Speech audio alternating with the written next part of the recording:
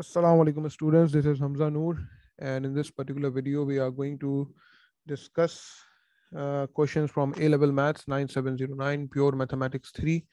This paper is May June 2021 paper 3 variant 3.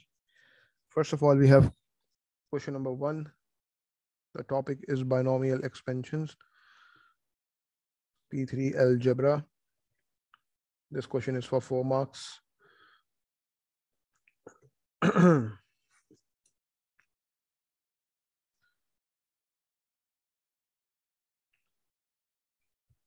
so expand 1 plus 3x whole thing raised to the power 2 over 3 in ascending powers of x up to and including the term in x cube simplifying the coefficients.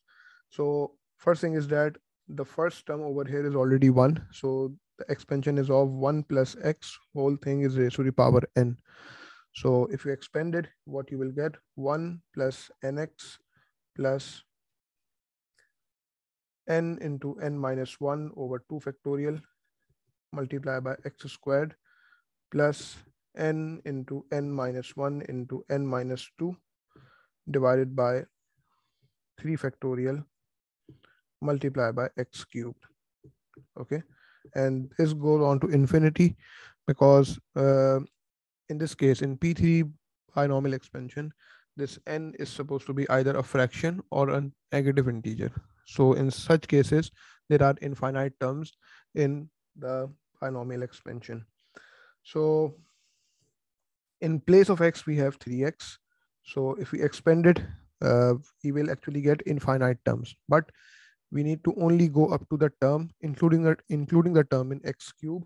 So 1 plus 3x whole thing raised to the power 2 over 3. The expansion will be 1 plus 2 over 3 times 3x plus 2 over 3 multiplied by 2 over 3 minus 1. what is 2 over 3 minus 1? This is minus 1 over 3.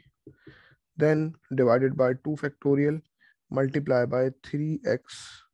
The whole thing is square plus n into n minus 1 into n minus 2, which means 2 over 3 multiplied by minus 1 over 3 multiplied by minus 4 over 3 divided by 3 factorial multiplied by 3x the whole thing cube okay?